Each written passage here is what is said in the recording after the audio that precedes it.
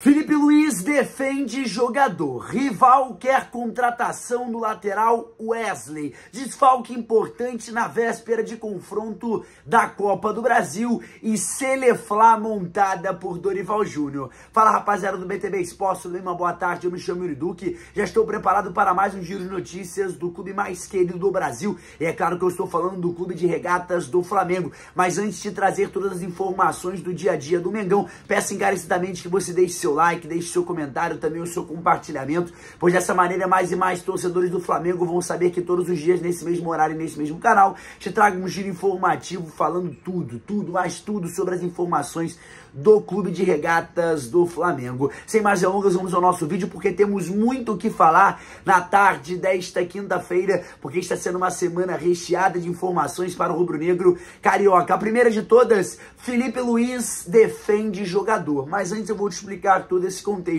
O Flamengo ontem foi jogar ali uma partida que foi remarcada do Campeonato Brasileiro, né? Um jogo adiado por conta das catástrofes no Rio Grande do Sul, Flamengo Internacional, Internacional e Flamengo no Beira-Rio. O Mengão empatou em 1 a 1, um gosto amargo, porque o Flamengo abre o placar de pênalti com o gol do Carlos Alcaraz e depois toma ali o empate da equipe do Internacional próximo aos minutos finais. Um Flamengo que não soube furar a bola, que não soube se concentrar na marcação dentro dos minutos finais, e isso acabou ocasionando um gol sofrido ali de maneira trágica pelo rubro-negro carioca próximo aos minutos finais. Lembrando que logo quando o Flamengo faz 1 a 0 tem uma oportunidade um pouco ali próximo em sequência do Carlos Alcaraz ampliar e ele perde um gol feito. Isso deixou o torcedor ali muito chateado, porque poderia ser um resultado positivo para o Flamengo ainda ali é, é próximo ao momento do gol. O Flamengo abriria 2 a 0 tranquilamente. E dessa maneira faria com que o torcedor ficasse tranquilão, na boa, 2 a 0 seria ali três pontos para o Flamengo fora de casa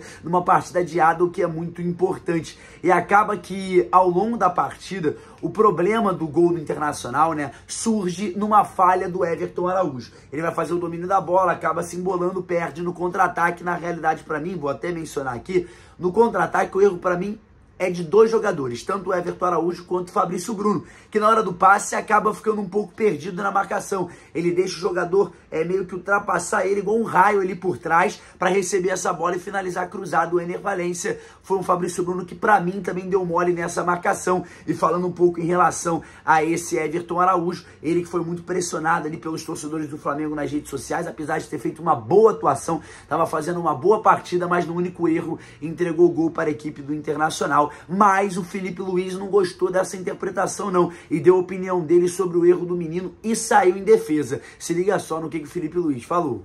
Partida. O Everton Araújo.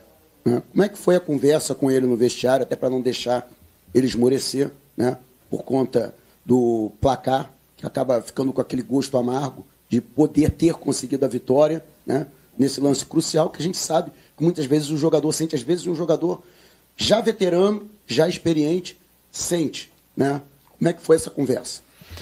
Não, não tive conversa ainda com ele. Ele sabe que ele fez um grande jogo.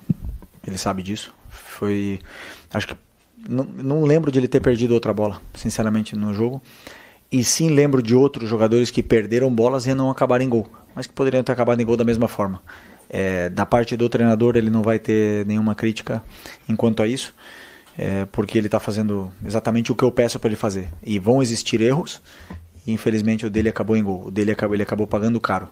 Mas eu, eu analiso o jogo com mais é, frieza, e como eu falei, exist, existiram outros é, lances que a gente perdeu a bola. É, piores ainda, posicionado em pior posição, posicionamento no campo e não acabaram na nossa rede. Então, coisas naturais do futebol, a única coisa que, eu, é, que ele não se abate, que ele continue trabalhando, porque é um menino bom e, e vem crescendo muito, vem aprendendo e eu confio muito nele e é importante para mim.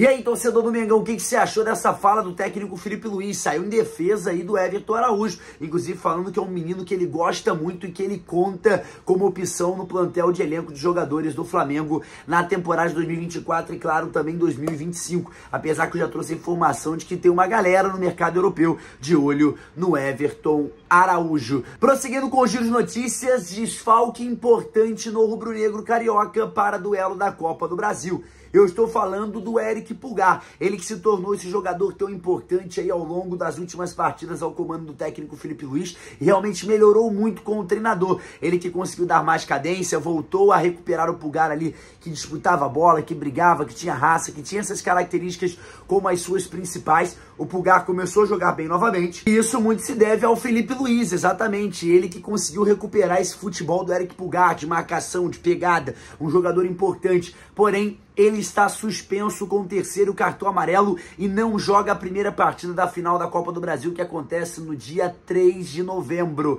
E no dia 10, ele estará de volta a esse elenco do técnico Felipe Luiz. Para o seu lugar, propriamente, nós falamos um nome que pode aparecer, que é o do Everton Araújo. Ele que é um jogador muito versátil, que vai ganhando a confiança do Felipe Luiz e poderia aparecer nessa opção ali no meio de campo, já que o Pulgar não pode jogar. E o Pulgar, ele se torna um desfalque tão importante, porque ele nesse elenco do Flamengo, como camisa 5, vamos colocar assim, dentro da, dentro da, da sua característica, ele é o cara que consegue ter essa passada mais tranquila de organização do elenco. É o cara que marca e que ataca ao mesmo tempo. É um Pulgar que, como eu falei, melhorou muito e vai recebendo novamente o apoio do torcedor que criticou ele há pouco tempo atrás. E aí vai tendo esse peso na determinação de quem vai ocupar essa posição também. O Alan, para mim, esquece camisa 29 do Flamengo não consegue fazer uma boa temporada, é criticado, é pressionado e para mim de maneira certa, porque tem que jogar bola. Não jogou bola desde que chegou ao Flamengo. E o Everton Araújo para mim pode ser esse nome aí que vai suprir a posição do jogador, que é ali o Eric Pugar, que está suspenso por receber o terceiro cartão amarelo desse primeiro jogo da final. Quero saber a sua opinião. Quem é que você colocaria para esse primeiro jogo contra o Atlético Mineiro, já que o Eric Pugar foi suspenso? Eu quero saber o que, que você faria se fosse Felipe Luiz, se você estivesse na pele dele. Deixe aqui nos comentários. Prosseguindo com os giros notícias, rival quer o Wesley. É, meu amigo, rival está de olho no Wesley. É um rival na cidade do Rio de Janeiro. Eu estou falando do Botafogo, exatamente o finalista da Copa Libertadores da América, que também briga pelo Campeonato Brasileiro. É esse provável ali é, é, olhar é, para essa janela do Wesley. Isso porque o John Textor já observa o lateral direito há bastante tempo. Não sei se você lembra, mas recentemente o Botafogo chegou a fazer uma consulta para saber valores do Wesley nessa janela de meio de temporada que não rolou. O John Textor que observa o potencial no jogador e fala que o Wesley teria boas características, inclusive, para atualizar no mercado, para é, utilizar, perdão, no mercado europeu. A ideia do Textor seria fazer uma proposta pelo Botafogo, a contratação do jogador para atuar em uma temporada e depois